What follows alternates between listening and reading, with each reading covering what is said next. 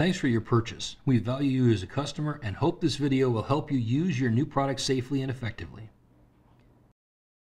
If you have any questions or problems with your product, please do not return it to the store. Call 1-800-828-5500 in the U.S. or 1-800-668-1238 in Canada for technical support.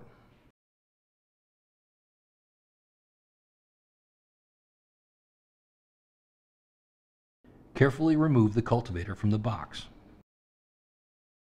Please read and follow all safety precautions as explained in your manual. Raise the handlebar by loosening the handlebar knobs on each side of the unit. Tilt the handlebar up until it is aligned with the lower part of the unit.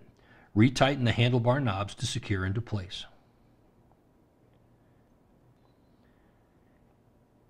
Ensure none of the wires became obstructed or entangled during this process. Locate the wheel assembly. Remove the clip and pin from the bracket.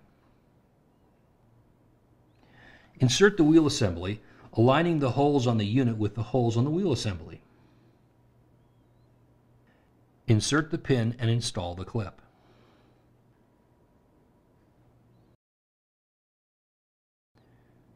Some units may have a different configuration with a spring-loaded pin.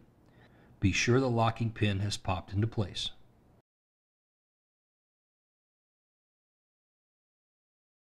The battery is not fully charged when shipped.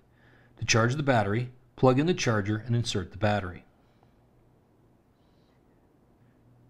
The battery is properly inserted when the red charging light is lit. This light will turn green when the battery is fully charged and can take up to two hours. All the battery charge indicator lights should be lit when the battery is fully charged. The battery cannot be overcharged, so it is okay to leave the battery in the charger when not in use. To remove the battery, hold down on the battery latch and slide the battery off the charger. Install the battery by aligning it with the battery cavity. Push the battery in until it clicks indicating it is locked in. Do not squeeze the throttle when installing the battery. To remove the battery, hold the latch down and pull it out of the battery cavity.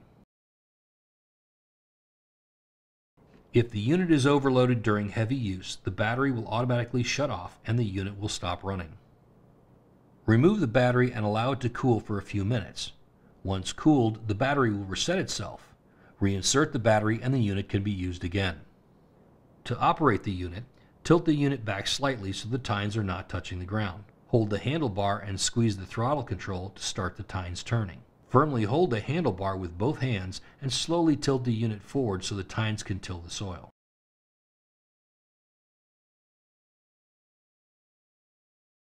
To service the tines, remove the battery. Remove the click pins on the ends of the tine shafts. Remove the tines. Clean each tine and set aside. Remove dirt and debris from the shaft wipe and oil the shaft. Reinstall the tines on the unit. The hubs on the tines must face each other. Reinstall the click pin. Please read, understand, and follow your owner's manual to safely operate your unit. Thanks for watching this video. Visit the Troy-Bilt website for more information regarding attachments and accessories for your product. Other videos are available to help you set up, operate, and maintain your Troy-Bilt equipment.